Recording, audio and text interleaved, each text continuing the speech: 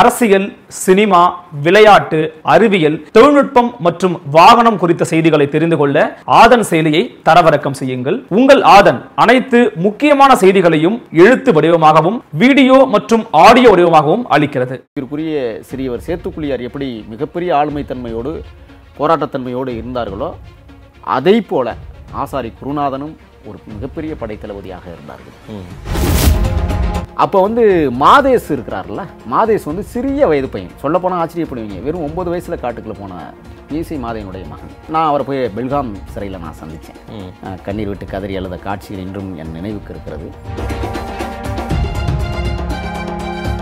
அதிரடிப்படையினுடைய வாகனத்தில் இவங்களை மூணு பேரையும் அழைத்துக்கிட்டு போகும்போது என்ன செஞ்சுருக்காங்கன்னா உயிர்நிலையை பிடிச்சி ஒரு காவல்துறை சார்ந்தன ஒருத்தர் தொங்குற மூணு பேர் தொங்குறாங்க. உயிர்நிலையை பிடிச்சி தொங்குனா எப்படி இருக்கும்? ஆணு கத்துறாங்க. கத்தும் போது சயனடை உள்ள போட்டுறாங்க எப்போதுமே காவல்துறைக்கு ஒரு பழக்கம் உண்டு. என்ன பழக்கம்னா ஒரு மருத்துவரை கூட்டிகிட்டு போடுவாங்க யார் செத்தாலும். அந்த மருத்துவர் உண்மையான மருத்துவராக இருப்பார். ஆனால் போலித்தனமான பரிசோதனை.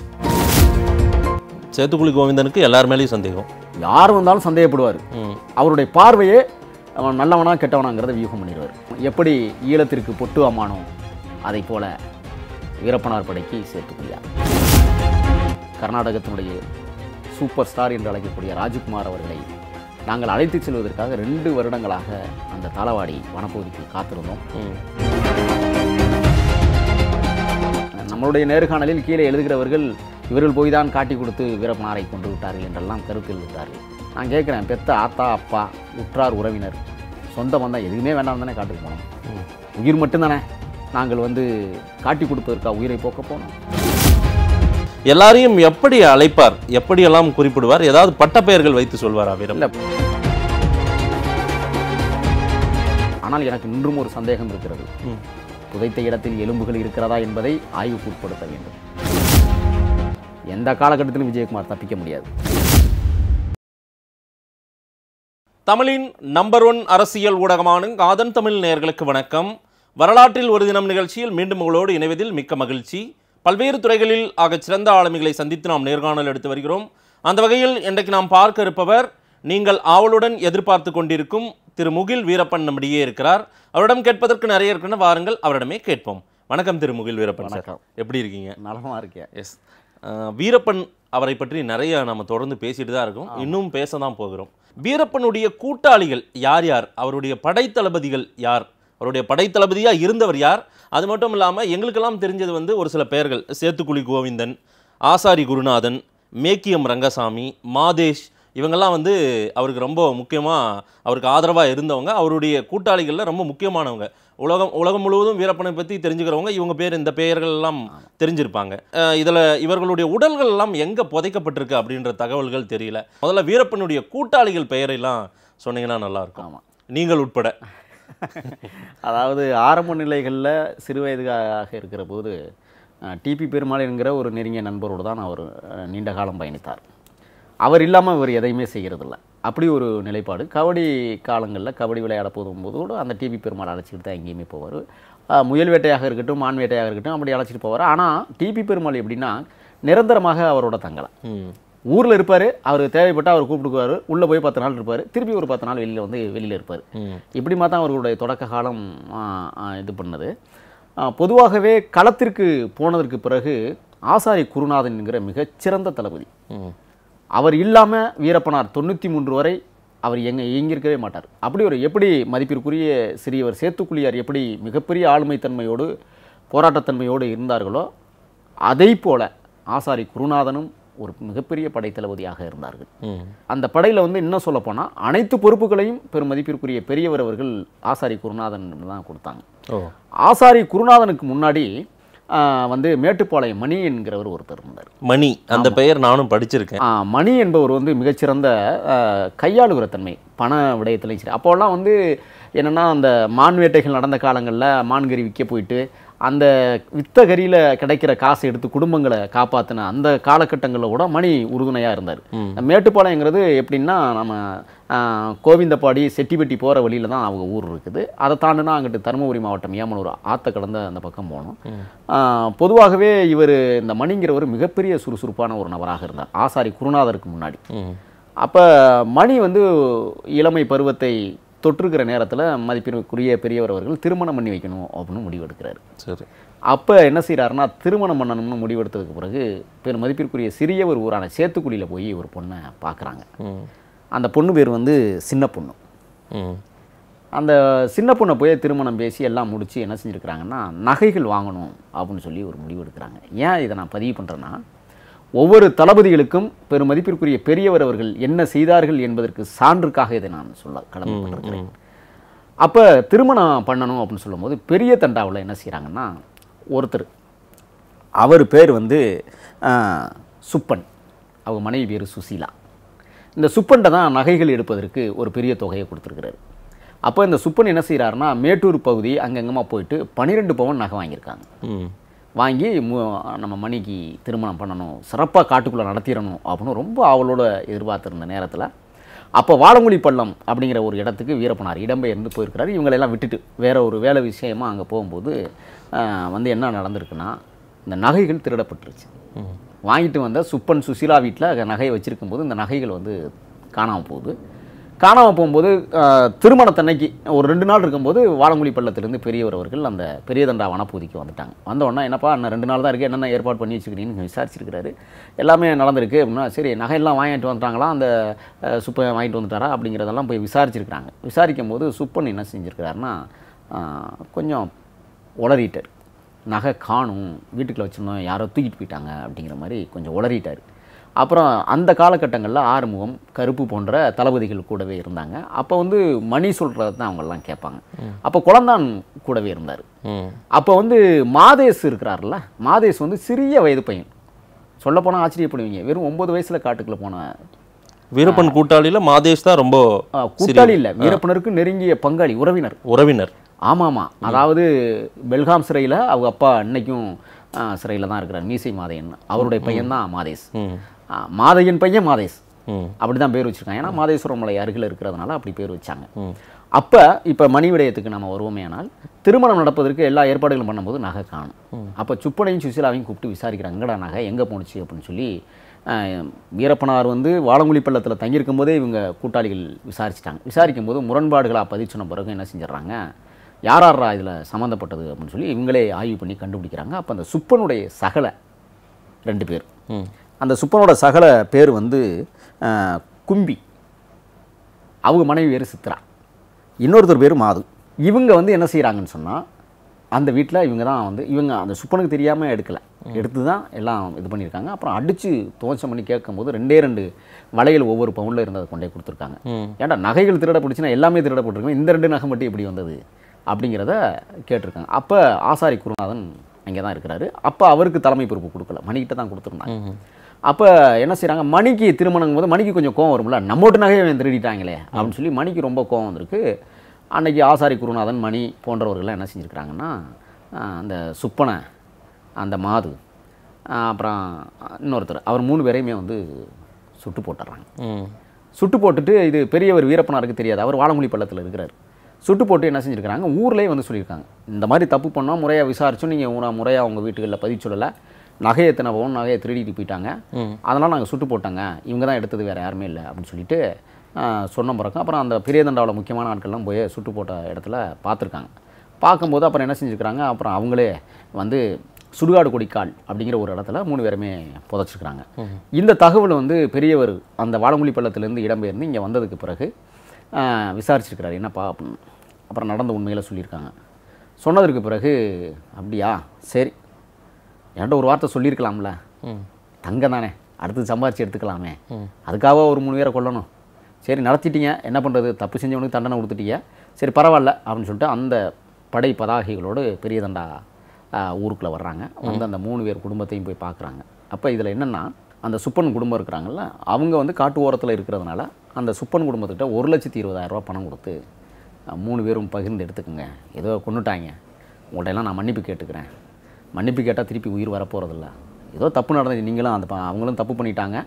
நம்ம பசங்களே என்ற ஒரு வார்த்தை கேட்காம அந்த மாதிரி முடிச்சிட்டாங்க. அப்படின்னு சொல்லி ஊர் முன்னிலையில் கையெடுத்து கும்பி தொட்டு அந்த மண்ணை வணங்கிட்டு ஒரு லட்சத்தி இருபதாயிரம் ரூபாய் பணம் கொடுத்துட்டு போயிருக்காங்க.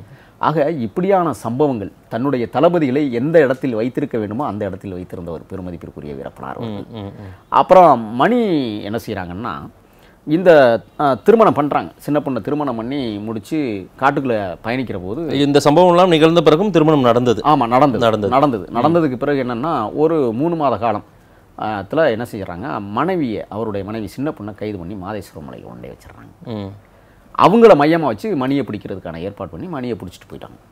எப்படி மனைவியை பார்க்க வரணும்? மூணு மாதம் தான் திருமணம் ஆயிருக்கு. எப்படியும் வந்து மனைவியை பார்க்க வரும்போது நமக்கு பிடிச்சிடலாம்னு சொல்லிட்டு அன்னைக்கு வந்து இந்த ஆடுதிரடி கோபாலகிருஷ்ணன் அவர் தான் அதிரடி படைக்கு தலைவராக இருந்த காலகட்டம்.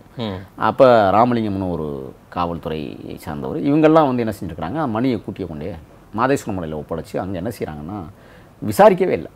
அடித்து எலும்பெல்லாம் நொறுக்கி கூடு கூடா உடம்ப ஆக்கி எப்படி பெருமதிப்பிற்குரிய பெரியவர் வீரப்பனாரை எப்படி எலும்புகளை நொறுக்கினார்களோ சேத்துக்குழியாரை எப்படி அடித்து துவம்சம் செய்து அந்த உடம்பை கூழு கூழாக ஆக்கினார்களோ அதே போல் மணியையும் அதே மாதிரி தான் செஞ்சுருக்கிறாங்க செஞ்சு கூழு கூழாக்கி மாதேஸ்வரன் மலையிலேருந்து தமிழ்நாட்டுக்கு வர்ற வழியில் ஏழாவது பெண்டுக்கிட்ட ஒரு இடத்த தேர்வு பண்ணி அந்த இடத்துல கொண்டு துப்பு இல்லாமல் எரிச்சு போடுறாங்க. ம். இது மணி வீழ்ந்த வரலாறு. அடுத்து ஆசாரி குருநாதன் பார்த்தீங்கன்னா மிகப்பெரிய படைத்தளபதியாக ஃபர்ஸ்ட் இருந்தது வந்து மணிதான். மணிதான். மணிக்கு அப்புறம் வந்து ஆசாரி. ஆசாரி குருநாதன் அதற்கு பிறகுதான் சேத்துக்குழியார். ஆமா ஆசாரி குருநாதனுக்கு பிறகுதான் சேத்துக்குழியார் தளபதி ஆகிறார்.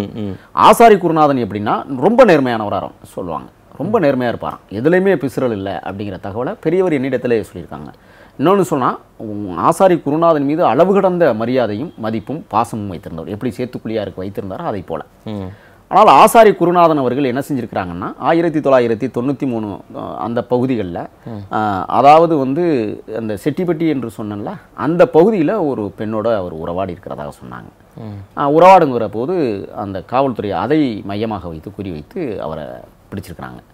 பிடிச்சு மாதேஸ்வரம் மலை முகாமில் தான் கொண்டே வச்சு அடித்து சித்திரவதை பண்ணி சுட்டு கொண்டிருக்காங்க. ஆசாரி குருநாதனை. ஆசாரி குருநாதன் இறந்ததுக்கு பிறகு தான் எஸ்பி ஹரிகிருஷ்ணா சஹில் அகமது அந்த சம்பவத்தை பதிலுக்கு பதிலாக நடத்தினார்கள். மீனியம் பக்கத்தில் பதிலுக்கு பதிலாக என்னுடைய கூட்டாளியை நீ கொண்டு இல்லை நான் இப்போ உனக்கு பார்க்குறேன் அப்படின்னு சொல்லிட்டு கிட்டத்தட்ட நான் ஏற்கனவே பதிவு செய்ததை போல் கிட்டத்தட்ட முப்பத்தி ரெண்டு பேரை அதில் பலிகடாவாக்கியார் அப்படி ஒரு கோர தாண்டவம் ஏன்னா குருநாதன் மீது அவ்வளவு பற்று. அந்த குருநாதனை மாதேஸ்வரம் மலையில் வைத்து அடித்து துவஞ்சம் பண்ணி மாதேஸ்வரம் மலை காவல் நிலையத்துக்கு முன்னாடி வச்சு சுட்டு கொன்று ஒடுக்காப்பள்ளம் என்கிற இடத்துல கொண்டே வச்சு தீ வச்சு கொளுத்தி முடிச்சிடறாங்க எ- எரிக்கப்பட்டதுதான். மணியும் எரிக்கப்பட்டதுதான். ஆமா, அதே போல ஆசாரி குருநாதனையும் எரி- எரிச்சிட்டாங்க. எரிச்சிடுறாங்க. இவங்களுடைய நோக்கம் என்னன்னா புதைச்சிட்டா எலும்பு கூடுகளை எடுத்து பின்னாடி ஆய்வுக்கு விட்டுருவாங்க அல்லது ஏதாவது ஒன்று பண்ணிடுவாங்க இவங்களெல்லாம் கம்கமாக முடிக்கிறது தான் அவங்களுடைய அசைன்மெண்ட் பிளானு ஏன்னா வெளிப்படையாக இது பண்ணோம்னா மக்கள் போராட்டம் வந்துடும் மக்கள் எழுச்சி வந்துருங்கிறதுல ரொம்ப கவனமாக இருந்து கர்நாடக காவல்துறை வேலை செஞ்சாங்க. அப்போ ஆசாரி குருநாதனை வந்து அவங்க என்ன சொன்னாங்கன்னா யானை தந்தம் விற்க வருகிற போது யானை தந்த முதலாளிகளாக அதாவது என்ன சொல்லுவாங்கன்னா அந்த வட இந்தியக்காரர்களாக வேஷம் போட்டு வந்தாங்க. அப்படி வந்த இடத்துல மீனியம் சாலையில் வந்து அந்த தந்தத்தை கொடுக்க வந்தார். கொடுக்க வரும்போது நாங்கள் சுட்டு கொண்டுட்டோம்னு அறிவிச்சாங்க. யார்? ஹரி ஹரிகிருஷ்ணாவும் சகில் அகமதும். அது உண்மை இல்லை. ஒரு பெண்ணை தேடி வர்றாரு அந்த பெண்ணை தேடி வந்த இடத்துல கைது செய்ய போறாரு. கொண்டே மாதேஸ்வரம் மலை முகாமில் வச்சு சித்திரவதை செய்து அங்கேயே சுட்டு கொண்டு கொண்டே ஒடுக்காப்பள்ளத்தில் தூக்கி எரிச்சிடுறாங்க. ஆக அந்த தளபதியையும் அப்படித்தான் பண்ணாங்க. இதை விட இன்னும் முக்கிய தளபதிகள்லாம் நிறைய பேர். அதில் குறிப்பாக சொல்லணும்னு சொன்னால் இப்போ அண்ணன் மதிப்பிற்குரிய சின்னவர் அர்ஜுனன் அவர்கள். ஆமாம் அதுக்கு அடுத்தார் போல ரெங்கசாமி ஐயந்துரை. மூன்று பேர்.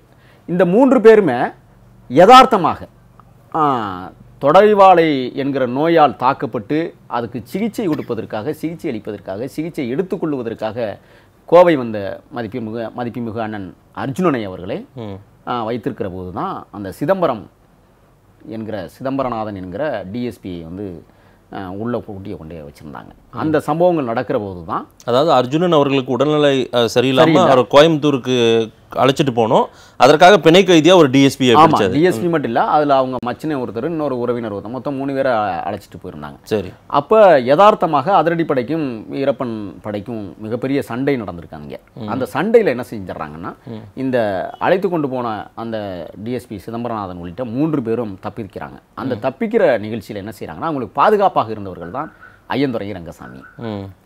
அவங்க என்ன செஞ்சுருக்கிறாங்கன்னா உங்கள் ரெண்டு பேருக்கும் நாங்கள் வந்து காவல்துறை அல்லது சட்ட ரீதியாக என்ன நடவடிக்கை எடுக்க முடியுமோ நட எடுத்து சிறையில் கொண்டே வச்சு நீங்கள் பிணையில் வெளியில் வந்துடலாம் அப்படின்னு சொல்லி ஆசை வார்த்தை சொல்லி அவங்கள அழைத்து கொண்டு போய் காவல்துறையிடம் ஒப்படைத்தார்கள். இந்த காலகட்டங்களில் அந்த மிகப்பெரிய சண்டை யுத்தம் அங்கே நடக்கிறது. நடக்கிற போது இவர்கள் தப்பித்து வெளியிலே வந்து விடுகிறார்கள். அந்த காலகட்டங்களில் அர்ஜுனன் அவர்கள் மருத்துவமனையில் இருந்த காரணத்தால் அவரை அரசு தரப்பிலே பிணை கைதியாக்கி விட்டார்கள். சரி. விசாரணை மேற்கொள்கிறார்கள். விசாரணையின் போது அவர்கள் என்ன செய்கிறாங்கன்னா கர்நாடக அதிரடிப்படைகிட்ட அவரை ஒப்படைக்கிறாங்க. அர்ஜுனனை. அர்ஜுனனை. இந்த ஐயந்துரையும் ரங்கசாமியும் ஒப்படைக்கிறாங்க. இப்படித்தான் அவங்க வந்து கைது செய்யப்பட்டு மைசூர் சிறையிலிருந்து அவர்களை விசாரணைக்காக மாதேஸ்வரம் மலைக்கு எடுத்துகிட்டு வராங்க. எடுத்துகிட்டு வந்து அன்று இரவு முழுக்க விசாரணை ஆ, விசாரணைன்னா விசாரணை இல்லை துன்புறுத்தல்கள். சித்திரவதை சித்திரவதைகள். ம். இதெல்லாம் முடிச்சதுக்கு பிறகு வந்து திருப்பியும் அவங்க என்ன செய்கிறாங்கன்னா மைசூருக்கு கொண்டு போகிறாங்க மாதேஸ்வர மலையிலிருந்து கீழே இறங்குகிற போது நான் ஏற்கனவே பதிவு பண்ண ஒடுக்காப்பள்ளம் என்கிற இடம் இருக்குது அதில் ஏழாவது எட்டாவது வளைவுகளில் அந்த அதிரடிப்படையினுடைய வாகனத்தில் இவங்களை மூணு பேரையும் அழைத்துக்கிட்டு போகும்போது என்ன செஞ்சுருக்கிறாங்கன்னா உயிர்நிலையில் உயிர்நிலையை பிடிச்சி ஒரு காவல்துறை சார்ந்தன ஒருத்தர் தொங்குறார். மூணு பேருக்குமே. அப்போ மூணு பேர் தொங்குறாங்க. மூணு பேர் தொங்க உயிர்நிலையை பிடிச்சி தொங்குனா எப்படி இருக்கும்? ஆணு கத்துறாங்க. கத்தும் போது சயனடை உள்ளே போட்டுறாங்க. வாயை வெறுமனேன்னு வச்சுக்கிட்டு இருந்தால் எப்படி சயனடு போட முடியும்? போட முடியாதுல்ல? சரி சயனடு போட்டீங்க. அதாவது உங்களுக்கு என்ன வேலை? ஒரு குற்றவாளி சட்டத்தின் முன் நிறுத்துவது தான் உங்களுடைய வேலை. சரி கொல்லணும்னு முடிவெடுத்துட்டீங்க. சயனடை போட்டு கொண்டுட்டீங்க கொண்டதற்கு பிறகு இவங்களை என்ன செய்கிறாங்கன்னா ராமபுரா காவல்நிலைய சரகத்திற்கு உட்பட்ட வனப்பகுதியில் கொண்டே எரிச்சிடுறாங்க மூணு பேரையுமே. அர்ஜுனன் ஐயந்துரை ரங்கசாமி மூன்று பேரையுமே ராமபுரா காவல் நிலைய எல்லைக்குட்பட்ட வனத்துறை வனத்துக்குள்ள ஒன்றை எரித்து துப்புலாம் வைக்கிறாங்க நான் என்ன கேட்குறேன்னா உங்கள் வேலை முடிஞ்சதுன்னா பணத்தை குடும்பத்தில் ஒப்படைக்கலாம்ல. ஏன் அதை ஒப்படைக்கல? ஏன் மூடி மறைச்சி? அந்த கோபம் தான் பெருமதிப்பிற்குரிய பெரியவர் அவரோட ம், மிக அதிபயங்கரமான கோபமாக இருந்தார்கள். இந்த சம்பவம் இப்படித்தான் அவர்கள் மூன்று பேரும் வீழ்ந்தார்கள். அதற்கு பிறகு பார்த்தீங்கன்னா மாதேஷ் மாதேஷ் வேற யாரும் இல்லை. மீசை மாதையனுடைய மகன். இவர் வந்து நான் அவரை போய் பெல்காம் சிறையில் நான் சந்தித்தேன் சந்தித்து பேசினேன். கண்ணீர் விட்டு கதறி அழுத காட்சிகள் இன்றும் என் நினைவுக்கு இருக்கிறது. அந்த மீசை மாதனுடைய பையன் மாதேஷ் என்ன செஞ்சிடறாங்க? சிக்கரசம்பாளையம். அதாவது சந்திரன் என்கிற ஒரு நபர் கடைசி யுத்தத்திலே இறந்து போனார். அந்த சந்திரன் ஊர் சிக்கரசம்பாளையம். அதாவது நெருக்கி சத்தியமங்கலத்திலேருந்து பக்கம். அங்கே ஒரு சின்ன கிராமம் அந்த கிராம பேர் எனக்கு நினைவில்லை. நான் பிறகு உங்களுக்கு கண்டிப்பாக சொல்லுவேன். அந்த சின்ன கிராமத்தில் ஒரு பொண்ணு அவர் காதலிக்கிறார். ஆடு மேய்க்கிற பொண்ணு. ம். மாதேஷ் என்பவர். அந்த காதலியை சந்திப்பதற்காக அங்கே வருகிறார். இது அப்போ வந்து தேவாரம் தலைமையிலான அதிரடிப்படை. அங்கே கோபால்னு ஒரு ஏட்டு இருந்திருக்கிறார் அந்த ஏட்டுக்கு இந்த தகவல் வருது. ஏன்னா அந்த கோபாலுங்கிறவர் இங்கே கருங்கலூர் பகுதியை சேர்ந்தவர். அவருக்கு பொண்ணு எடுத்து பொண்ணு கொடுத்த வகையில் சிக்கரசம்பாளையத்தில் அவங்களுக்கு உறவினர்கள் நிறைய. அவங்க தகவல் கொடுத்துருக்காங்க. இந்த மாதிரி வந்து இங்கே தான் வீரப்பன் கூட்டாளி ஒருத்தன் தங்கினான் அப்படின்னு. இது காட்டுக்குள்ளே என்ன நடந்துச்சுன்னா பெரிய ஒரு வீரப்பனாகவும் சின்ன ஒரு சேத்துக்குள்ளியாரும் பலமுறை அறிவுரை சொல்லியிருக்காங்க. வேண்டாம் போனால் செத்து போவாடான்னு சொல்லியிருக்காங்க. கேட்கல. ஏன்னா இளமையான பருவம். ஆடு மேய்க்கிற பொண்ணை நம்ம கல்யாணம் பண்ணிக்கலாம் அப்படிங்கிற ஒரு பெரிய ஆசை இருந்திருக்கு. அந்த ஆசையில் போய் அந்த பொண்ணை காதலிக்கிறாரு. இரவு அங்கே தான் போய் தங்குறது. பகலில் காட்டுக்குள்ளே இருக்கிறது இரவு போய் அங்கே தங்குறது. இதை காவல்துறை அதிரடிப்படை வந்து நோட்டமிட்டு சரியாக சுற்றி வளைத்தார்கள். சுற்றி வளைக்கிற போது அந்த காதலி வீட்டுக்குள்ளேயே இருந்த அருவாமனை எடுத்து தன் கழுத்தை தானே அறுத்து கொண்டு செத்து போகிறார். மாதேஷ். மாதேஷ். எப்போதுமே காவல்துறைக்கு ஒரு பழக்கம் உண்டு. என்ன பழக்கம்னா ஒரு மருத்துவரை கூட்டிகிட்டு போடுவாங்க யார் செத்தாலும். அந்த மருத்துவர் உண்மையான மருத்துவராக இருப்பார். ஆனால் போலித்தனமான பரிசோதனை. அந்த பரிசோதனை நடத்தி என்ன செய்யறதுன்னா காட்டுக்குள்ள துப்பு இல்லாமல் எரிச்சு போடுறது. மாதேசியும் அப்படி தான் செஞ்சாங்க. ஏன் செங்கப்பாடிக்கு அனுப்பிச்சிருக்கலாமே அவருடைய பூத உடலை? ஏன் அனுப்பலை? இப்படி தான் போலித்தனமாக நடத்தினார்கள். அதுக்கப்புறம் பாருங்க பேபி வீரப்பன் என்கிற ஒரு நபர். அவரும் ஒரு மிகச்சிறந்த படைத்தளபதியாக இருந்தார். மிகச்சிறந்த சமையல் கலைஞர். அது மட்டும் இல்லை ஆளுமை தன்மை கொண்ட திமிரானவர். எதுக்கும் பயப்பட மாட்டார். ஆனால் கொஞ்சம் அபரிமிதமாக கொஞ்சம் சண்டியத்தனமும் பண்ணுவார் அப்படின்னு சொல்லுவாங்க. சேட்டை அப்படின்னு சொல்லுவாங்கல்ல அந்த சேட்டைத்தனமானவர். அந்த பாருங்க அந்த சிதம்பரநாதன் டிஎஸ்பியை உள்ளே அழைத்து கொண்டு போய் வைத்திருக்கும் போது மோ கோவை மாவட்ட ஆட்சியர் சேகர் என்று நினைக்கிறேன். சேகரிடம் போய் கோரிக்கைகளை வைத்து விட்டு வந்தவர். பேபி வீரப்பன். ஆமாம் அப்படிப்பட்ட ஒரு நபர் எப்படி சாகுறாருன்னா ரொம்ப இழிவாக ரொம்ப கேவலமாக இறந்து போகிறார் எப்படின்னா தட்டக்கரை தாமரைக்கரை பெச்சிலிட்டி தேவர்மலை என்கிற பகுதிகளில் பெச்சிலிட்டி என்கிற ஒரு இடம் இருக்குது அந்த பெச்சிலிட்டியில் தான் அந்த தங்கவேல்னு ஒருத்தர் இருக்கிறார். அவருக்கு மூணு பெண் குழந்தைகள். நான் ஏற்கனவே நம்ம நேர்காணலில் நான் அதை விரிவாக சொல்லியிருக்கிறேன். அங்கே அந்த தங்கவேலுடைய மகளை கல்யாணம் பண்ணிக்கிறேன்னு சொல்லி தான் அவர் பெரிய சடையை வளர்த்தது. அதுவும் பழனிக்கு மொட்டை போடுறதாக வளர்த்தார். என்னிடம் தெளிவாக சொன்னார்கள். அப்படிப்பட்ட அந்த பேபி வீரப்பன் என்ன செய்கிறாருன்னா தங்கவேலுவை நம்புகிறார். வீரப்பன் படையிலிருந்து வெளியேறுகிறார். இதுக்கு காரணம் அதிரடிப்படை தான். அதிரடிப்படை தங்கவேலுக்கு ஒரு அசைன்மெண்ட்டை கொடுக்குது. என்ன அசைன்மெண்ட்னா வீரப்பனிடமிருந்து பேபி வீரப்பனை பிரித்து விடுது. பிரித்து விட்டு அவன் கதையை முடித்து விட்டால் படையிலே வந்து ஆட்கள் குறைந்துரும். அப்போ எளிமையாக பிடிச்சிடலாங்கிறது அதிரடிப்படையினுடைய வியூகம். அவங்க பண்ண வியூகம் சரியாக இருந்தது. அந்த தங்கவேலு தான் எங்களை கொள்வதற்கு உள்ளே சைனடி ஏழை கொண்டு வந்த கொண்டு வந்தவர். அப்படி ஏழு சைனடை கொண்டு வந்த காரணத்தால் அப்படி தான் அவரை நாங்கள் எப்படி பண்ணோம்னா அது நான் பிறகு சொல்கிறேன். பேபி வீரப்பன். பேபி வீரப்பன் என்ன செய்கிறாருன்னா தனியாக பிரித்து எடுத்து கொண்டு போய் என்ன செய்கிறாருன்னா மாப்பிள்ளைன்னு தான் கூப்பிடுவார் இவர். அவர் மாமான்னு தான் கூப்பிடுவார். அப்படி ஒரு உறவு. ஏன்னா மகளை கட்டுறோம்ல. ம். அப்படி. இது உளவுத்துறைக்கும் அதிரடிப்படைக்கும் சொல்லிட்டாரு. என் மகளை கட்டுறேன்னு சொல்லி தான் நான் ஏமாற்றி கூட்டிகிட்டு வர போகிறேன் அப்படின்னு சொல்லி கூட்டிகிட்டு வந்து அன்னைக்கு அவர்கள் கையிலே வந்து எஸ்எல்ஆர் என்கிற அதிநவீன துப்பாக்கி கையில் இருந்தது. அப்போ கூட பெரியவர் அவர்கள் தனியாக பிரிஞ்சு போகும்போது போ பட்டு சீரழிஞ்சிருவே அப்படின்னு தான் சொல்லி திட்டி அனுப்பியிருக்கிறாரு. ஓ சொல்லிட்டு தான் வெளியேறினார் ஆ, பேபி சொல்லிட்டு தான் வெளியே இருக்கிறாரு பெரியவர் திட்டுறாரு நான் திரும்ப திருமணம் பண்ணிக்க போறேன் அப்படின்னு சொல்லிட்டு போனாரா இல்ல? அப்படியெல்லாம் சொல்லலை. நான் உன்கிட்ட அந்தமே இருக்க முடியாது. கருத்து மோதல் வந்துருது. சரி. நீ பெரிய ஆளா நான் பெரிய ஆளா நான் பார்ப்போம் அப்படின்னு சொன்னேன். அப்போ தான் அவர் சொல்லிடுறார் நீ பெரிய ஆள் தானா நீ போடா. நீ போயிட்டு திரும்பி வரும்போது நான் எப்படின்னு நான் உன்னை பார்த்துக்கிறேன் அப்படின்னு தான் பெரியவங்க சொல்லியிருக்கிறாங்க. ஏன்னா அவங்க பல சம்பவங்களை நிகழ்ச்சிகளை நேரிலே பார்த்த அனுபவங்கள் வயது வயதுக்கு பார்த்துருப்பார்கள். அப்படி தான் பேவி வீரப்பனை வந்து அனுப்பிச்சி விட்டார். ம். அவனா இப்போ போயிட்டான். அனுப்பிச்சு கூட விடல. அவனா போயிட்டான். போனதுக்கு பிறகு ஒரு ரெண்டு மாதமும் என்னமோ தான் வெளியில் இருந்தார். தாளவாடி வனப்பகுதிக்குள்ள ஒரு இடத்துல அந்த இடம் சிக்மங்கலியோ ஏதோ ஒரு இடம் சொல்லுவாங்க. அந்த இடத்துல தான் தங்கவேல் என்ன செய்கிறாரு அன்னைக்கு அதிகாலையில் மழை பெஞ்சிருந்து அந்த முடிஞ்ச சூழலில் காலையில் தேநீர் போடுவதற்காக ரெண்டு பேரும் உட்காந்துக்கிட்டு இருக்காங்க. அப்போ இவர் என்ன செய்கிறாருன்னா பிடிக்கல. அதாவது தீ பற்ற வச்சு பிடிக்கலைங்கிறக்கா பூத்து பூத்துன்னு அடுப்புக்குள்ளே உள்ள நுழைஞ்சு ஊதிக்கிட்டு இருந்திருக்கிறாரு. இவர் மாப்பிள நான் அந்த வெளியே போயிட்டு வந்துடுறேன் மாப்பிள அப்படின்னு சொல்லிட்டு துப்பாக்கி வாங்கிட்டு வெளியில் போனவர் என்ன செஞ்சுருக்கிறாரு? இவர் திரும்பி ஊதிக்கிட்டு இருக்கும்போதே பின்பக்கமாக பிடிச்சி க- சாவடிச்சிடுறாரு. தங்கவேலு தான். தங்கவேலு தான் கொன்னது. கொன்னதுக்கு பிறகு அவருடைய பிரேதம் அவருடைய பூத உடல் மூன்று நாட்களுக்கு பிறகு கண்டெடுக்கப்பட்டு அது அப்புறம் வந்து அதிரடிப்படைக்கு எங்களுக்கு நடந்த யுத்தத்தில் பேய் வீரப்பனை சுட்டு வீழ்த்தினோம்னு சொல்லி அறிவிச்சாங்க.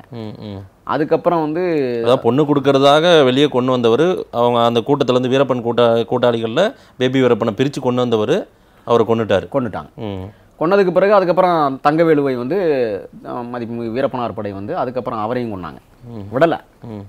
அது பிற- பிறகு நம்ம நிறைய பேசியிருக்கிறோம். நம்ம பிறகு பேச இருக்கிறோம் அது அந்த இடத்துக்கே போய் பேசினா தான் இன்னும் அழகில் கிடைக்கும். விரைவில் நாம வந்து நேரடியாகவும் அங்க போக ஆமா. நேர்கள் அதை கேட்டுக்கிட்டே இருக்காங்க. எப்ப நீங்க களத்துக்கு போக போறேன்னு ஆ. விரைவில் நாம வந்து களத்துக்கு போக போறோம். அதையும் இந்த நேரத்திலே சொல்லிடுவோம். நிச்சயமாக. அப்போ வந்து அதற்கு பிறகு மேக்கியம் ரங்கசாமி. மேக்கியம் ரங்கசாமி. மேக்கிய ரங்கசாமி வந்து ஆயிரத்தி தொள்ளாயிரத்தி தொண்ணூற்றி ஒம்போதுகளில் அக்டோபர் நவம்பர் மாதங்களில் தேதி நினைவில்லை நான் கூட பயணித்தவன். நான் இருக்கும்போது அந்த சம்பவம் நடந்தது. அவரும் ஒரு பெண் ஆசையால் போய் நாம் அதை ஏற்கனவே ஒரு நேர்காணலில் விரிவாக அவருடைய மரணத்தை பற்றி பேசியிருக்கிறோம் உண்மையை பேசியிருக்கிறோம்.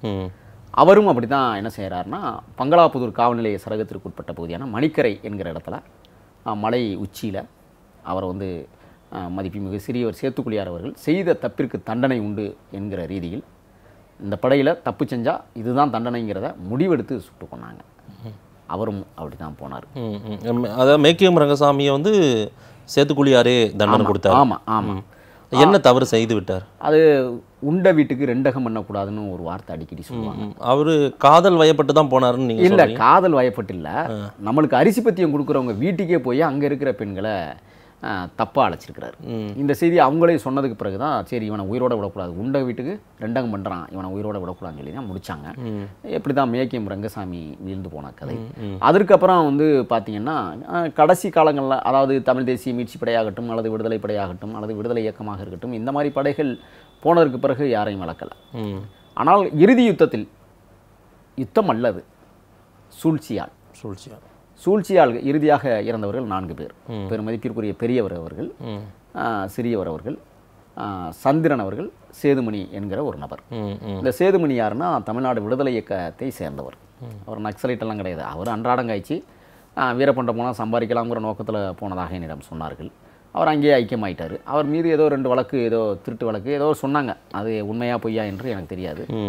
அப்புறம் அவரும் காட்டுகளே தங்கிட்டார். மதிப்புமிகு அண்ணன் சந்திரன் அவர்கள் ஐஜி ஆக இருந்த காளிமுத்து காலகட்டங்களில் நெற்றிக்கண் நிருபர்கள் உள்ளே போகிற போது சில சம்பவங்கள் நடந்தது. அந்த சம்பவத்திற்கு பிறகு அவர்களை அழைத்து சென்ற பெரிய பங்கு சந்திரன் அவர்கள் தான். அதனால் அந்த காளிமுத்து என்ன செஞ்சிட்டாருன்னா சந்திரனுக்கு குறி வச்சாங்க. குறி வைக்கும்போது அவர் என்ன செய்கிறாரு ஆடு மேய்த்து கொண்டிருந்தவர் மாடு மேய்த்து கொண்டிருந்தவர் சந்திரன். அப்புறம் அவர் சிக்கரசம்பாளையம் வனப்பகுதியில் வீரப்பனாருடன் ஐக்கியமாகிவிட்டார். அவர் இறுதியில் நடந்த அந்த துன்பகரமான நிகழ்விலே வந்து அவரும் இறந்து போயிட்டார். சேதுமணி என்பவர் கூடவே இருந்த காரணத்தால் அவரும் அந்த சம்பவத்தில் இறந்தார்கள் மதிப்புமிகு சேத்துக்குளியார் அவர்கள் அது ஒரு பெரிய நீண்ட நெடிய வரலாறு. எங்கு அவர் கவனக்குறைவாக இருந்தார் என்று இன்றும் நான் யோசித்துக் கொண்டிருக்கிறேன். எப்படி இருக்க மாட்டாரா? வாய்ப்பே இல்லை. ஒரு துளியேனும் யார் பார்த்தாலும் சந்தேகப்படுவார். அந்த சந்தேகம் சரியாக இருக்கும். சேத்துக்குழி கோவிந்தனுக்கு எல்லார் மேலேயும் சந்தேகம். யார் வந்தாலும் சந்தேகப்படுவார். அவருடைய பார்வையே அவன் நல்லவனா கெட்டவனாங்கிறத வியூகம் பண்ணிடுவார். ஆனால் அவர் கிட்டத்தில் வரமாட்டார். அவர் எப்படி விசாரிக்கணுமோ அப்படி விசாரிப்பாங்க. அவர் விசாரிக்க மாட்டார். ஆனால் பேச்சு பேசிக்கிட்டு இருக்கும்போதே இவன் நல்லவனா கெட்டவனாங்கிறத முடிவெடுத்துருவார். அப்படி ஒரு மிகப்பெரும் எப்படி ஈழத்திற்கு பொட்டு அம்மானோ அதை போல வீரப்பனார் படைக்கு சேர்த்துக்குள்ளியார் அதுதான் உண்மை. ஆனால் அவரோடு இவரை நான் ஒப்பிட முடியாது. ஏனால் அது மிகப்பெரிய களம். பொட்டு அம்மான் என்பவர் அது உலகளாவிய களம். ஆனால் இது தமிழக களம். அதனால் ஒப்பிடுவது என்பது சரியாக இருக்காது. இருந்தாலும் படை என்று வருகிற போது சின்ன சின்ன ஒப்பீடுகள் சொல்லித்தானே ஆகணும். அந்த பாப்புலேட்டிப்பட்டி ஆம்புலன்ஸில் வைத்து சுடப்பட்டதாக சொல்லும்போது எத்தனை பேர் அதில் இருந்தவங்க சேத்துக்குழி யாரும் இருந்தாரா? ஆமாம் நான்கு பேர். பெருமதிப்பிற்குரிய வீரப்பனார் அவர்கள் சேத்துக்குளியார் அவர்கள். சந்திரன். சந்திரன் சேதுமணி. இந்த நாலு பேரையும் தான் வந்து சுட்டு கொன்னதாக அறிவித்தார்கள். செத்த செத்த பிணத்தை சுட்டார்கள். அதுதான் உண்மை. இப்படி தான் அவனுடைய படையில் இன்னும் அதாவது ஆரம்ப தொடக்க காலங்களில் சந்தன மரங்களை பொதுமக்கள் வெட்டி இவரிடம் மொத்த மொத்தமாக விற்கிற காலகட்டங்களில் இரநூறு முந்நூறு பேருக்கு இவர்கிட்ட வேலை செஞ்சுருக்காங்க. எல்லாருக்கும் சம்பளம் கொடுத்து காட்டுக்குள்ள வனத்துக்குள்ள. நான் என்ன கேட்குறேன்னா ஆறாயிரம் சதுர கிலோமீட்டர் பரப்பளவில் விரிந்து கிடக்கிற காடுகளில் சந்தன மரத்தை வீரப்பன் மட்டும்தான் வெட்டி ம். சொல்லுங்க ம். ஆறாயிரம் சதுர கிலோமீட்டரில் இவர் ஒருத்தர் தான் கோடாரி தூக்கி கொண்டே விட்டினாரா? இல்லை இல்லை. இருக்கவே இருக்காதுல்ல. பொதுமக்கள் வெட்டினாங்க. அன்றாடம் அவருடைய வயிற்று பிழைப்பு வெட்டினாங்க அதை ஒட்டுமொத்தமாக அவர்கிட்ட கொண்டாந்து விற்றாங்க அவர் வாங்கி அங்கேயுமா சேமித்து அதை வெளியே வெளியில் அனுப்புனாங்க. வாங்கினவங்க எல்லாருமே இன்றும் சோ- ஒரு சில பேர் இருப்பதாகத்தான் சொல்லுகிறார்கள். அவர்கள் பேர் வரவில்லை. ஆனால் இவர் பேர் வந்து விட்டது. உங்களை பற்றி குறிப்பிடவே இல்லையே. அவங்களுடைய கூட்டாளிகளில் நீங்களும் ஒருவர். உங்களை வீரப்பன் எப்படி அழைப்பார்? உங்களுக்கான உரையாடல்கள் எப்படி இருந்துச்சு? அதாவது தமிழ் தேசிய மீட்சி படை என்கிற ஒப்பற்ற ஒரு படையை தமிழீழத்திலிருந்து தொடங்கப்பட்ட இந்த அமைப்பை தமிழகத்திற்கு அனுப்பி வைக்கிற பெருமை தமிழீழத்தினுடைய தேசிய தலைவர் பிரபாகரனையே சாரும். தலைவர் முத்துக்குமார் அவர்கள் பொறுப்பேற்றுக் கொண்டதற்கு பிறகு அது வீரப்பனார் படைக்கு வந்து சேர்கிறது. அப்பொழுது மதிப்புமிகு போராளிகளான அண்ணன் மணிகண்டன் சத்தியமூர்த்தி நான் இன்னும் சில பேர் மீட்சி படையில் வெற்றி என்கிற ஒரு தம்பி. இவங்கெல்லாம் நாங்கள் முதன் முதலாக எங்களுக்கு முன்னாடி அண்ணன் சத்தியமூர்த்தி வனத்திற்குள் சென்று விட்டார். மணிகண்டன் முத்துக்குமார் ஆகியோரும் போய்விட்டார்கள். அதற்கு பிறகுதான் எனக்கு தொடர்பு கொண்டு என்னை அழைத்தார்கள். நானும் உடனடியாக வனத்திற்குள் போய்விட்டேன். அதற்கு பிறகு கொஞ்ச காலம் கழித்து தமிழ் தேசிய விடுதலைப்படை என்கிற தமிழ்நாடு விடுதலைப்படை என்கிற ஒரு மிகப்பெரிய கள அமைப்பான அந்த அமைப்பில் செல்வம் என்கிறவர். அதற்கு பிறகு அன்றில் கோவிந்தராஜ் என்கிற இனியன் போன்ற செலியன் போன்ற தோழர்கள் எல்லாம் உள்ளே வந்து களமாட வந்தார்கள். அது மிகப்பெரிய ஒரு படையை உருவாக்கினார்கள். களத்தை வென்றெடுப்போம் என்பதற்காக காத்திருந்தார்கள். அது மிகப்பெரிய தளம். அவர்கள் வந்ததற்கு பிறகுதான் ரெண்டு ஆண்டுகளாக மதிப்புமிகு பெரியவர் கர்நாடகத்தினுடைய சூப்பர் ஸ்டார் என்று அழைக்கக்கூடிய ராஜ்குமார் அவர்களை நாங்கள் அழைத்துச் செல்வதற்காக ரெண்டு வருடங்களாக அந்த தாளவாடி வனப்பகுதிக்குள் காத்திருந்தோம். ம்.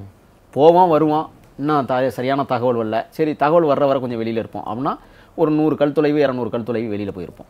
திருப்பி ஏதாவது தகவல் வந்துச்சுன்னா உடனே தாளவாடி வனப்பகுதிக்கு வந்துடுவோம் அது சரியான நேரத்தில் சரியான காலகட்டத்தில் மதிப்புமிகு ராஜகுமார் அவர்களை அழைத்து செல்ல வேண்டிய தருணம் இந்த தமிழ்நாடு விடுதலை படை என்கிற பெரிய ஒரு மக்கள் போராட்டக் குழுவை சார்ந்து தான் அது அமைந்தது.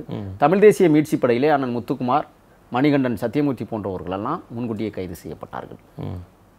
பிறகு என்னை காட்டி கொடுத்து நான் கைது செய்யப்பட்டேன். ஏற்கனவே நான் பதிவு செஞ்சிருக்கிறேன். அதற்கு பிறகுதான் தமிழ்நாடு விடுதலை இயக்கம் என்கிற ஒரு இயக்கத்தை உள்ளே அனுப்பியிருக்கிறார்கள். அது இந்த தமிழ்நாடு விடுதலை இயக்கத்தை பற்றி நான் நிறைய சொல்ல வேண்டியது இருக்குது ஆனால் இந்த காணொளியிலே நான் சொல்ல விரும்பவில்லை. காரணம் முரண்பாடுகள் இருக்கிறது. சரி. நாங்கள் வந்ததுக்கு பிறகுதான் வல்லம் அறிவழகன் குத்தாலம் குமார் திருவண்ணாமலை சிவா போன்ற இந்த தோழர்கள் எல்லாம் அதற்கு பிறகுதான் காட்டுக்குள் பயணித்திருக்கிறார்கள். அவர்கள் எல்லோரும் இன்னும் வெளியில் தான் இப்பொழுது சிறை அனுபவங்களை எல்லாம் முடித்துவிட்டு வெளியிலே வந்து அவரவர் குடும்பங்களை பார்த்து அவர்கள் கௌரவத்தோடு வாழ்வதாக எனக்கு தகவல் கிடைத்தது. அதிலே வந்தவர் தான் இந்த சேதுமணி என்கிறவர். இப்படித்தான் அவர் அந்த கட்டமைப்புகள் அப்படித்தான் வந்தது. நம்மளுடைய நேர்காணலில் கீழே எழுதுகிறவர்கள் இவர்கள் போய் தான் காட்டி கொடுத்து வீரப்பனாரை கொன்று விட்டார்கள் என்றெல்லாம் கருத்து எழுதுகிறார்கள். உண்மைத்தன்மையை முதலே உணர வேண்டும்.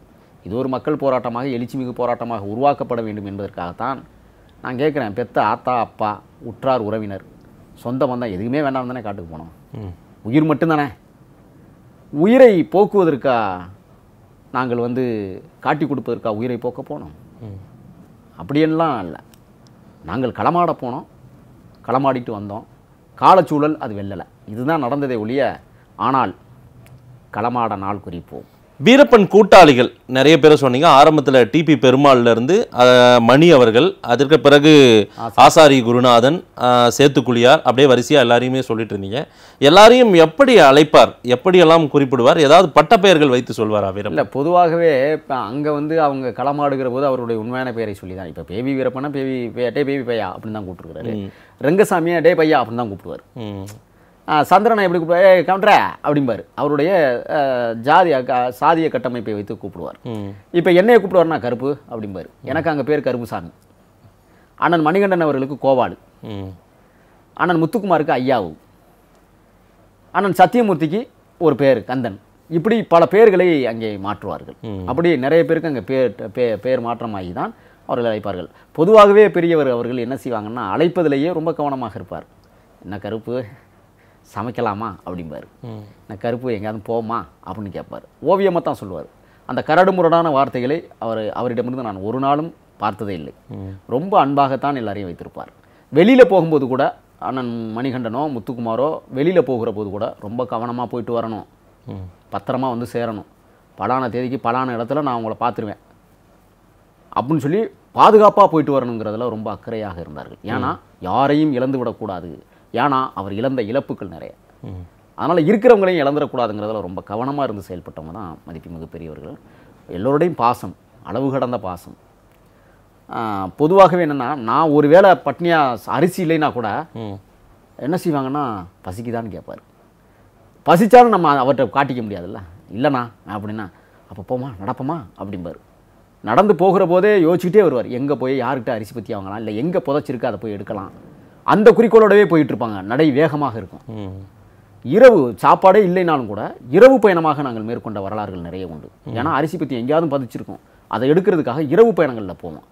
அதுவும் பாருங்கள் விளக்கு எரியக்கூடாது சத்தம் போடக்கூடாது கரடு முரடான பாதை முள் செடிகள் நிறைய இருக்கும். அதெல்லாம் கடந்து அதுக்குள்ள பொத்துக்கிட்டு இரவுல போனால் கூட பாதை வழியாக தடத்து வழியாக போகிறதில்ல ஏன்னா தடம் கொடுத்தால் காலையில் எவராதும் காட்டி கொடுத்துருவாங்க. அப்படிங்கிறதுக்காக காட்டு நடுக்காட்டு வழியாக அடர்ந்த புதர்களுக்கு இடையிலேயே எங்களுடைய பயணம் போகும். அப்படி போகிற போது கூட பத்திரமா வாங்க. இருட்டு நேரம். எதுங்க கண்ணுக்கு நில்ல அடிச்சுமாடே ஒருத்தர் ஒருத்தர் பத்து பத்து மீட்டர் இடைவெளி விட்டு வாங்க. அவன் தள்ளி விட்டானா அப்புறம் அந்த செடி கண்ணில் அடிக்கும் அப்புறம் எங்கே போய் வைத்தியம் பார்க்குறது? அப்படிம்பார். ஆக பத்து மீட்டர் இடைவெளி விட்டு ஒவ்வொருத்தருக்கும் இருந்து தான் நாங்கள் வந்து பயணித்தோம் அப்படி அவர் எங்களிடம் ஒரு தந்தையாக தாயாக குறிப்பாக தாயாகத்தான் எங்களிடம் இருந்தார்கள். காலையில் பால் பவுடர் எடுத்து பால் போடணும். போட்டு எல்லாருக்கும் குடிக்கணும். அவரும் குடிப்பார். குடிச்சிட்டு "ஆ, எத்தனை மணிக்கு சாப்பாடு கிடைக்கும்? நான் சத்த படுக்கவா? அப்படிம்பார். இல்லை நான் சும்மா இருக்க மாட்டார். வேற எங்கேயாவது இப்படி சுத்து சுற்றுவார் உளவு பார்ப்பார். சென்றி என்கிற எல்லை காவலை கண்காணிப்பார். ஒழுங்கா பார்க்குறாங்களா? பிள்ளைங்கெல்லாம் பார்க்குறாங்களா? கண்காணிக்கிறாங்களா? அப்படின்னு பார்ப்பார். ஆக மிகச்சிறந்த ஆளுமைத்தன்மை மிகச்சிறந்த தாயுள்ளம் கொண்ட. நான் ஆரம்பத்திலே சொன்னது போல மணிக்கு திருமணம் செய்து வைத்த அதுக்கு தான் நான் அதை பதிவு பண்ணேன். வீரப்பன் உடல் மூலக்காட்டில் இருக்குது புதைக்கப்பட்டிருக்குது. வீரப்பனுடைய கூட்டாளிகள் உடல் எல்லாம் எங்கெங்க புதைக்கப்பட்டிருக்கு? அதாவது பெரியவர் அஹ், அந்த பூத உடலை புதைப்பதற்கு மிகப்பெரிய போராட்டம் நடந்திருக்கிறது சண்டையே எரிக்க தான் என்ன என்னிடத்துல அந்த புதைத்தவர் என்னிடத்துல இப்போ நான் அண்மையில் நான் அந்த மூலக்காட்டில் போய் இருக்கும் பொழுது அந்த புதைத்தவர் அங்கே தான் இருக்கிறார் கல்லறையிலே தான் இருக்கிறார். அதே மாதிரி அந்த கல்லறையை சுத்தப்படுத்துவதற்கென்றே ஒருத்தர் இருக்கிறார் அங்கே. இரவும் பகலும் அங்கே தான் இருக்காங்க அந்த ரெண்டு பேரும். சரி. அந்த புதைத்தவர்கிட்ட நான் பேசும்போது கேட்டேன் என்ன எப்படி அப்படின்னு? கிட்டத்தட்ட பதினோரு டயர்கள் லாரி டயர்களை கொண்டாந்து போட்டு வச்சுருக்காங்க. கிட்டத்தட்ட குறைந்தது ஒரு ஒரு டன் விறகாவது கொண்டாந்து குமிச்சிருப்பாங்க. நான் என்ன கேட்குறேன்னா உங்கள் கதை முடிஞ்சு வச்சுனா போக வேண்டியதானே எரிப்பதற்கு உங்களுக்கு யார் எந்த சட்டம் சொன்னது. எங்கள் குல வழக்கப்படி நாங்கள் புதைப்பது எரிப்பதாங்கிறத நாங்கள் தீர்மானம் பண்ணிக்குவோம்.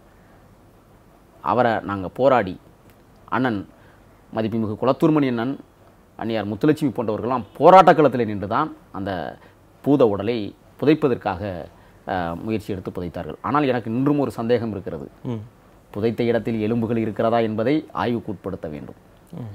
ஏன் எனில் எப்படி கீவோ புரட்சியாளர் சே குவேரா முப்பத்தி ஆறு ஆண்டுகளுக்கு பிறகு அவரது எலும்புக்கூடுகளை பொலிவிய காடுகளில் கண்டெடுத்து உலகத்தில் இரண்டாம் இயேசுநாதர் உயிரிழந்தார் என்று அந்த கீவோ அரசு அறிவித்ததோ அதைப் போல. எம் இனமானத்துடைய இனக்காவலன் வீரப்பனார் மீண்டும் உயிரிழந்தார் என்கிற செய்தியை நாங்கள் ஆவலோடு எதிர்பார்க்கிறோம். காரணம் அவருடைய எலும்புக்கூடை நாங்கள் மீண்டும் தோண்டி எடுத்து ஆய்வுக்கு உட்படுத்துவோம். அந்த காலம் விரைவில் வரும். ஆனால் எலும்புக்கூடுகள் இருக்கிறதா என்பது சந்தேகமாக. அதே மாதிரி சேத்துக்குழியார் சேத்துக்குழியாரை வந்து என்ன செஞ்சிட்டாங்க? அவசர அவசரமாக ஒம்பது லாரி டயர்களை போட்டு அந்த செட்டிப்பட்டி என்று சொன்னேனே செட்டிப்பட்டி சுடுகாட்டில் ஒரு முட்புதரில் கொண்டே வச்சு துப்பு இல்லாமல் எரிச்சு விட்டாங்க. காவல்துறை தான் செஞ்சது. எரிக்க வேண்டிய அவசியம் என்ன இருக்குங்கிறேன் நான். நீங்கள் யார் முதல்ல எரிக்கிறதுக்கு? உங்களை உங்களுக்கு அந்த எரிக்க புனம் எரிக்கிற வேலையாக கொடுத்தாங்க உங்களுக்கு? நான் கேட்குறேன். அதே மாதிரி சிக்கரசம்பாளையத்திலே அண்ணன் சந்திரனை அங்கே கொண்டே காவல்துறை பல்வேறு அடக்குமுறைகளை எதிர்த்து மக்கள் போராட்டக் களத்தில் நின்னாலும் அங்கேயும் லாரி டயர்களை போட்டு தான் அவரை கொளுத்தி எரித்தார்கள். அதே மாதிரி பெரம்பலூர் மாவட்டம் என்று நினைக்கிறேன் சேங்கொண்டம் பகுதியிலே தான் சேதுமணியினுடைய வீடு இருந்ததாக சொல்லுகிறார்கள். நான் ஆய்வுக்கு உட்படுத்தவில்லை. அவரையும் லாரி டயர் போட்டு தான் எரித்து சாம்பலாக்கியிருக்கிறார்கள். ஆக இவர்கள் செய்த தவறுக்கு சான்று அது ஒன்றே போதும். இவர்கள் செய்த பிழைகளுக்கு அதுதான் சான்று. புதைக்காமல் எரித்த அவசரம் ஏன்? விஜயகுமார் பதில் சொல்லுவாரா. நான் கேட்குறேன் எந்த காலகட்டத்திலும் விஜயகுமார் தப்பிக்க முடியாது. இன்னும் வீரப்பன் கூட்டாளிகளில் நீங்கள் உட்பட யார் யார் இருக்கீங்க? ஆக்டிவாக இப்போ பேசிட்டு இருக்கீங்களா? யாராவது எங்கெங்கே இருக்காங்க? எல்லோரும் தொடர்பில் தான் இருக்கிறோம். எல்லோரும் தமிழ் தேசிய களத்தோடும் கருத்தோடும் தொடர்பில் தான் இருக்கிறோம். பேசுவோம் உறவாடுவோம். அனைவருக்கும் குடும்ப சூழ்நிலைகள் உருவாகிவிட்டது திருமணமாகிவிட்டது குடும்ப பொறுப்புகளை கவனிக்க வேண்டிய பொறுப்பு எங்களுக்கும் இருக்கிறது. ஆகையால் எனக்கு திருமணம் ஆகிவிட்டது அண்ணன் சத்தியமூர்த்திக்கு அண்ணன் மணிகண்டனுக்கு திருமணம் ஆகிவிட்டது நாங்கள்லாம் திருமணமாகி இன்றைக்கு குடும்பத்தோடு இருக்கிறோம். அண்ணன் முத்துக்குமாருக்கு திருமணமாகி ஓராண்டுகள் நிறைவடையாத சூழலில் தான் அவர் புதுக்கோட்டை வீதிகளில் படுகொலை செய்யப்படுகிறார். அதே போல அண்ணன் பெரும் மதிப்பிற்குரிய பெரும்போராளி மாறன் போன்றவர்கள் இன்னும் திருமணமாகவில்லை. செலியன் இன்னும் திருமணம் ஆகவில்லை அன்றில் இருக்கிறார் கோவிந்தராஜ் இருக்கிறார் இனியன் என்கிற கோவிந்தராஜ் செல்வம் இருக்கிறார்.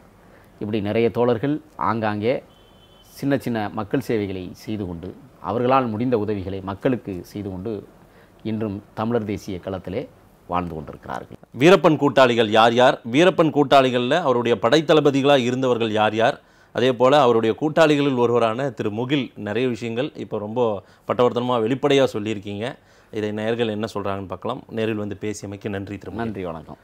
நன்றி நேர்களே மீண்டும் ஒரு வரலாற்றில் ஒரு தினம் நிகழ்ச்சியில் சந்திப்போம். நன்றி வணக்கம்.